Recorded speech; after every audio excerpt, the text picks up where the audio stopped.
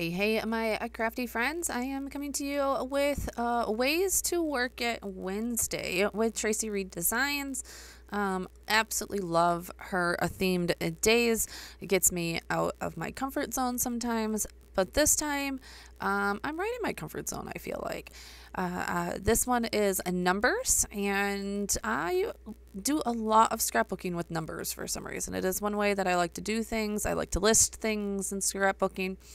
Um, I just feel like it is the easiest way for me to do that. So today I am going to show you two spreads on how to use numbers in your scrapbooking uh, pages. This one is going to be more of a like um, incorporate numbers, how to use them. You know, um, this is going to be like a collage of photos from a vacation that we took and then using numbers to correspond with those pictures. So, definitely something that is obviously used in our community quite often. Um, but, you know, it's a very great way to showcase a a lot of pictures. So um, I actually haven't started this travel album yet, but this did um, inspire me to get that going here. Uh, this will be just like a highlights one. Maybe this will just go in our family album, I think, honestly, um, instead of in the travel album itself, where the travel album will be more of like breaking down stories and all that kind of stuff. Um, but this was a trip that we took last summer to Myrtle Beach uh, for my oldest son's baseball tournament. He went to a very popular baseball tournament called Ripken this was our family's first time being in Myrtle Beach. Um, and so, and I feel like with the tournament, the tournament definitely takes up a ton of your time while you're down there. But we honestly got um, quite a few things um, seen right around the area. And so I decided to make a bit of a highlights page for that. Um, so, taking uh, that first page is just merely four images put together. Um, I think they ended up being just over three. Um, what is it? Um, yeah, just just over three by four. Um, they were a little bit fatter than the normal three by fours. So just to fill that page, since that was a full outside the page protector page of um, uh, which is, you know, your 6 by 8 by 8.25. Um, and then the other page, and that, that was because I, I was going to have a little bit more room on one side, uh, but I didn't want two pictures to be cut in the middle for the seam. So I decided just to spread everything out and then put the other two pictures a little bit smaller on the other page. So then I used one of Traci Reed's um, signature TN papers, cut it down just a little bit to have it on the side here. Worked out very well. This is um, from the Anywhere But Here collection. Um, and that is where also all of my little embellishments came from. Printed out uh, six different labels, six different hearts, and kind of color coordinated them to that rainbow. We always love a good rainbow, and if you are looking for a good rainbow, Traci Reed is the place to go.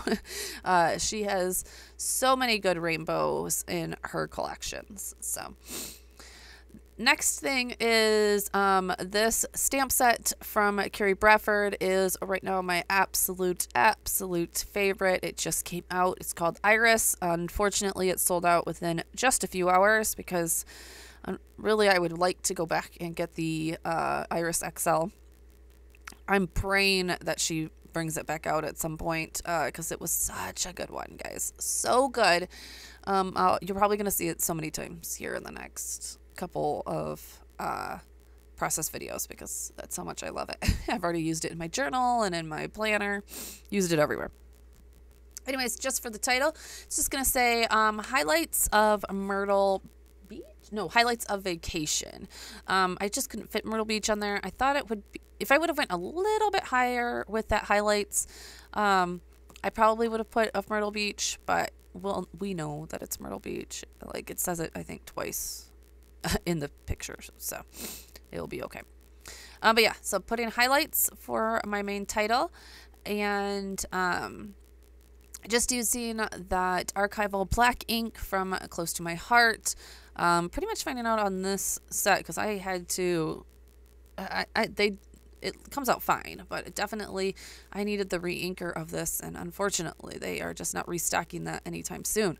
Um, I guess they're having manufacturer issues like everybody else in the world, right?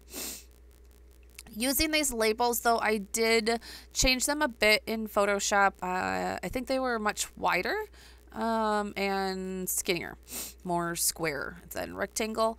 And so I did do that a little bit. So I did warp the edges a little bit, and you know, you don't have as much color. I'm okay with that. It's not a big deal to me. Um, it's no big deal. I just cut them out with my silhouette because that is my favorite thing to do, and just kind of zigzagging them down the plate or down the side. Um, and then color coordinating these hearts to the label and we will stamp the number also to the label so you know which picture we are talking about. So that first picture um, was the first day of the tournament and Cal Ripken himself was there. Uh, that doesn't normally always happen.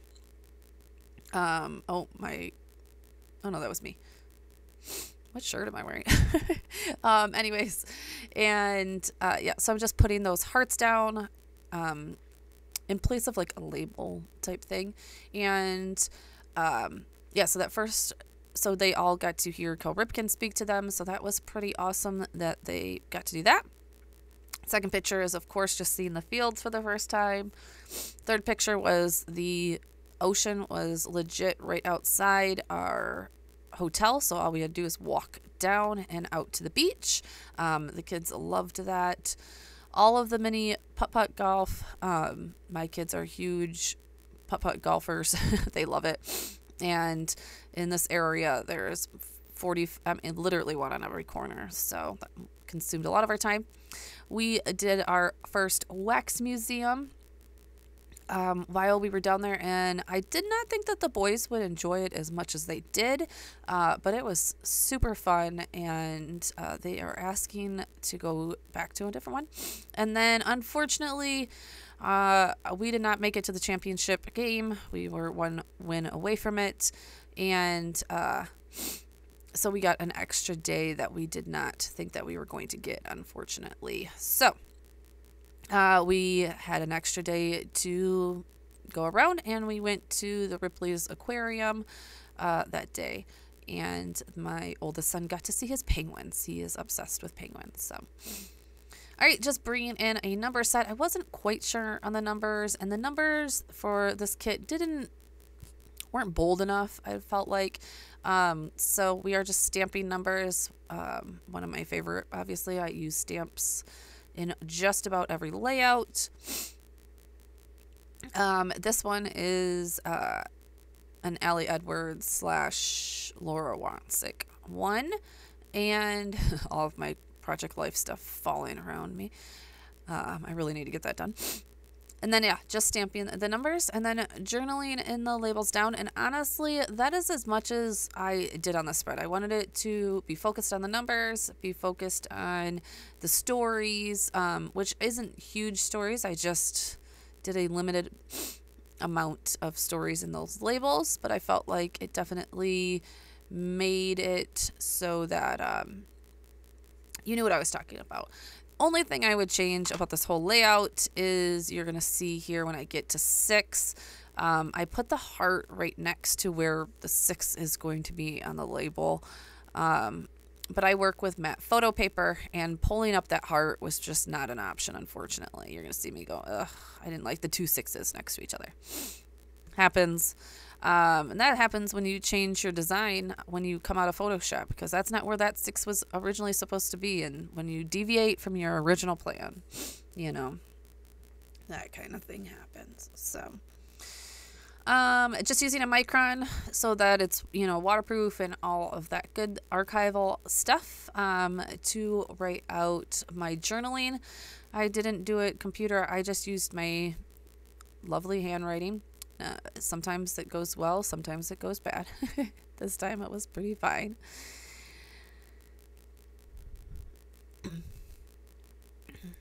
And then, like I said, I am going to go in with a very, that was the issue for me in this spread, as I was getting on the long side, or not the long, the too many side, I guess, I don't know, of font, like stamped fonts, um, including, and I just, I was, I was debating just leaving it highlights, um, but in the end, you will see that I do vacation.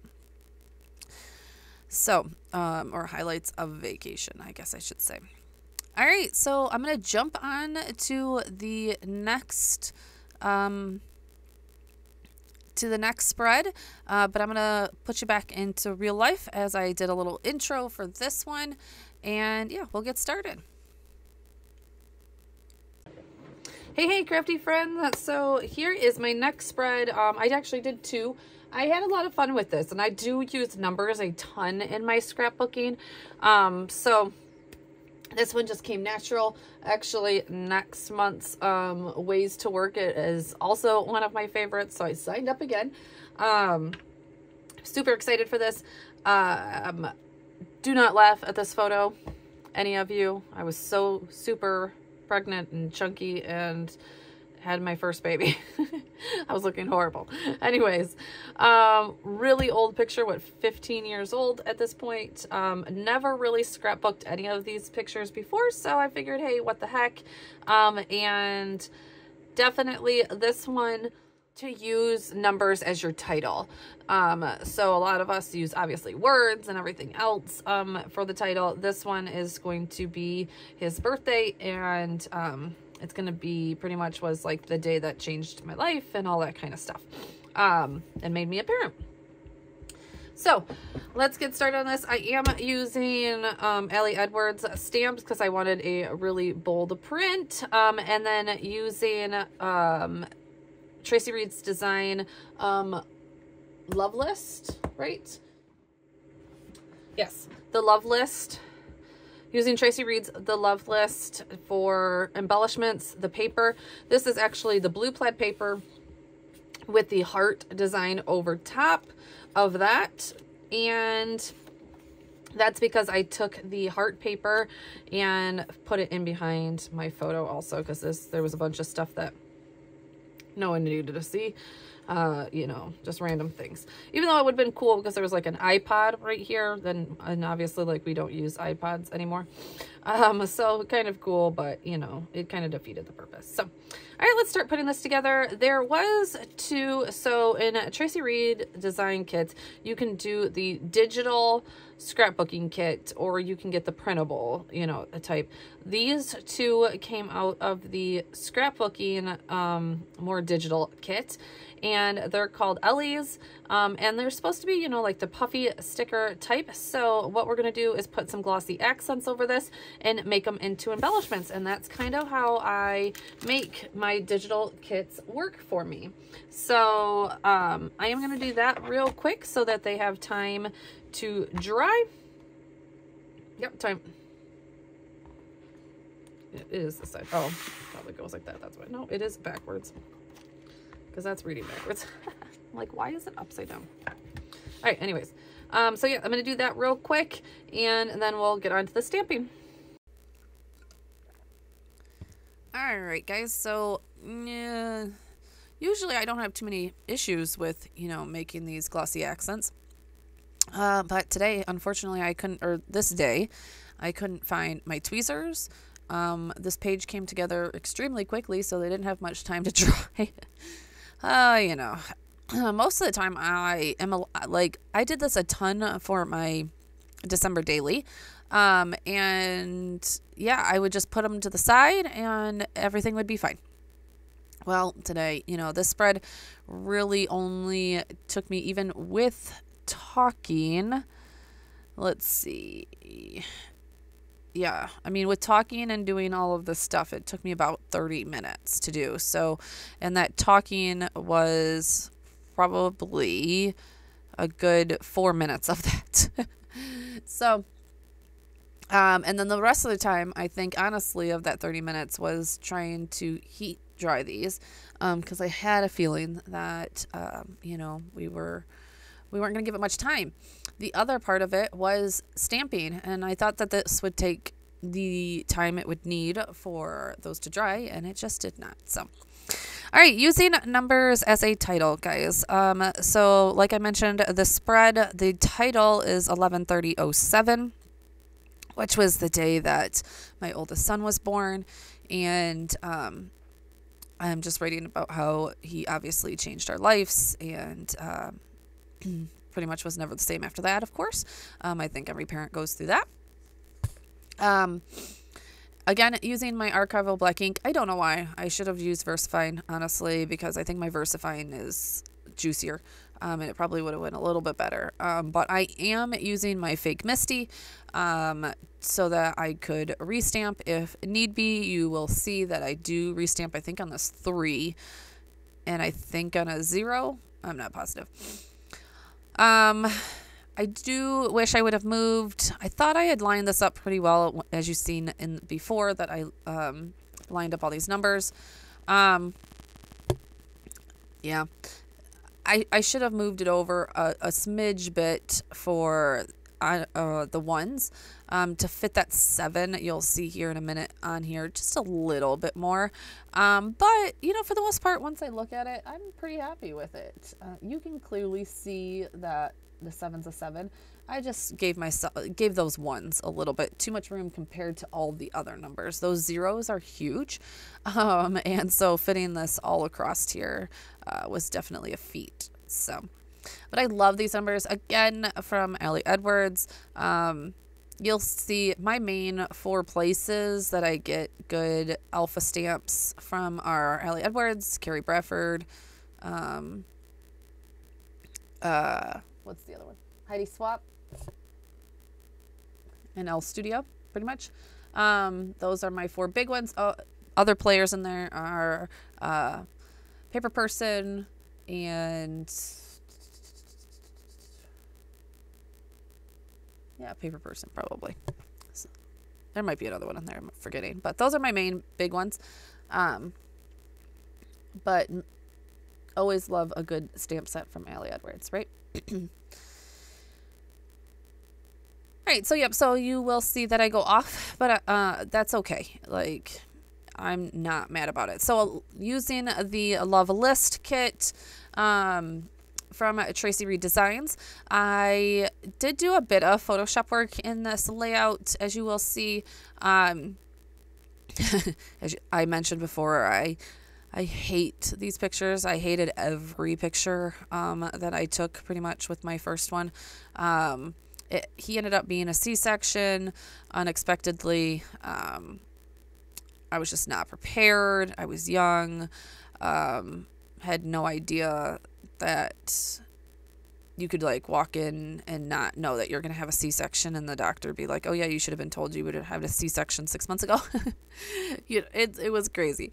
Anyways, um sat there in labor for 9 hours before I had him also because other people's placentas and twins kept on coming. So, long story short, I look like crud in every single picture that I had with him. And so I never really have documented these pictures. And I'm like, you know what? It, it, it needs to happen.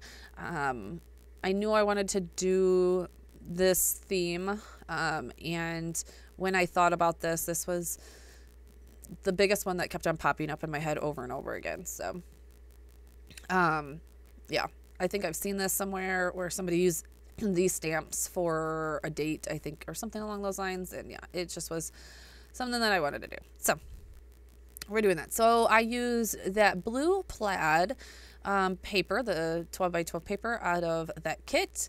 And then she does have a heart paper also um, in that kit.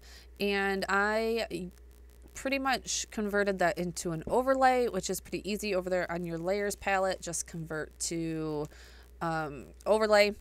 And that takes like the color and everything out of it and just left those hearts. Now I knew I was covering up most of this, but I did want the hearts to kind of travel all over the paper um, because I used the hearts behind my picture. So I made, I chose my photo and then um, selected the subject is what it's called. It's very easy in Photoshop now. They've Photoshop has come so far since I started using it. Um, so I just selected the subject, which is myself and the baby, and duplicated that layer, put that overlay in between the photo and myself, the second myself layer. And yeah, ended it that way. Added a few embellishments like you can see me doing now. Um, she didn't have a clear brush stroke, um, so that is I, I created that in Photoshop myself. I just took a white paintbrush and painted over it, saved it as a layer, and then that's what I used for my text box. And then use some of her embellishments like that paper clip right there. Here I go testing these and being like, oh, this is not dry enough. It was all going well until um, I got to the pink one, which I thought was dry and then I dropped it. You're going to see me probably do that, right? Oh, I dry it a little bit more just to make sure. I thought this one was pretty dry. And then I go to put it on my backdrop and I drop it. You're going to see it, I think. I think I... Right. Oh, no, that's what I did. Yeah, I put tape on it. I'm an idiot. Like, I pushed down on it, put tape on it. It wasn't dry. It pulled up. But thankfully, I was hiding it anyways, kind of behind the big one. So I was like, you know what, we're going to go with it and just hide it. Um, and it ended up turning out just fine. And that is pretty much what is going to happen. I do think that the bottom was a little bit bare. Um, of course, I didn't need to add any date stamps or anything because it, the date was right on top. Um, so I had the stamp already out because I haven't put it back. I use it a lot for some reason. And I just took out some very light gray ink from Distress Oxide and kind of just went over the bottom. It says for the moment, I think it says. I don't know. And that, you know, obviously my journaling is talking about being in the moment and being, you know, remembering how scared I was to take this human being home. and yeah, and that's it. All right, guys, thank you so much for going with me with these two projects, and I will talk to you guys soon. Bye.